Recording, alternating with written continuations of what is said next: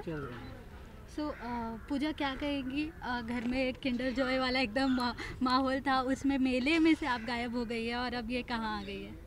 पता नहीं कहाँ आ गई हूँ बस मुझे पुलिस वाले अंकल दिख गए थे और मैं बहुत ज़्यादा डर गई थी। वैसे भी मुझे मोटी मोटी मूछ वाले पुलिस वाले अंकल से बहुत डर लगता है। वो मुझे पकड़ के ले जाएँगे क्योंकि मैं दूध नहीं पीती हूँ ना इसीलिए। लेकिन अभी जो है मुझे एक अंकल मिल गए हैं जो शायद मेरे मामा जी के दोस्त हैं और वो मुझे मामा जी के घर लेके जा रहे हैं। एंड अपेरेंटली वो मिस्टर कपूर ही है जो किडनैप करके लेके चले गए हैं पूजा को और पूरा घर परेशान है और सब लोग ढूंढ रहे हैं पूजा को। अच्छा तो पूजा कितनी कन्विंसिंग थी जो उनकी बातों में एक बार में आ गई कि अच्छा मामा जी से तो मुझे मिलाने ले चल गया ऐसा? नहीं नहीं, पूजा बिल्कुल भी इजी नहीं है और वो किसी की भी बात एक बार में बिल्कुल भी नहीं मानेगी। लेकिन क्योंकि अभी उस जो मामा जी के फ्रेंड हैं, उन्होंने पुलिस वाले अंकल से मुझे बचाया है। अब इतना तो नहीं पूजा को मालूम है ना she is eight year old kid तो उसको नहीं मालूम है कि यू नो इतना सब कुछ प्लान किया जा सकता है। तो बस वो पुलिस वालों से डर गई और किसी ने उसको रेस्क्यू किया।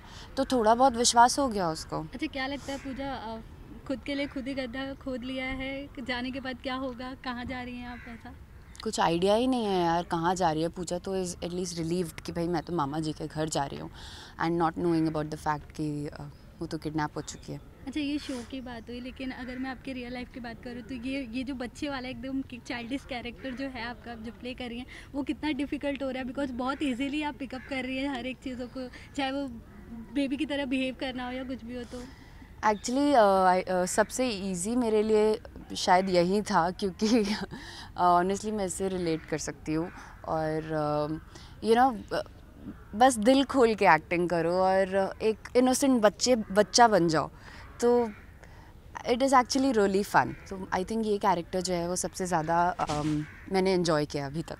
अच्छा लास्टली फैंस के लिए कोई मैसेज बहुत सारा प्यार बहुत सारा थैंक यू आप लोग हैं तो हम लोग हैं। खूब सारा एंटरटेनमेंट देखते रहिए हम लोग आपको एंटरटेन करते रहेंगे। थैंक यू पूजा एक लास्ट सवाल दो दिन से वेदर बहुत अच्छा हो रखा है हाँ. तो आ, क्या लगता है आपको मतलब बाहर आप शूट कर रही हो कैसा लग रहा है आपको इस मौसम में शूट कर इस मौसम में बहुत अच्छा लग रहा है अभी परसों ही बारिश हो रही थी तो पारुल है जो मेरी रूममेट भी है तो उससे मैं डिस्कस कर रही थी यार you know we were really enjoying the weather and we came out we had pakoras and we had chai हम लोगों ने गोपाल दादा से बनवाया।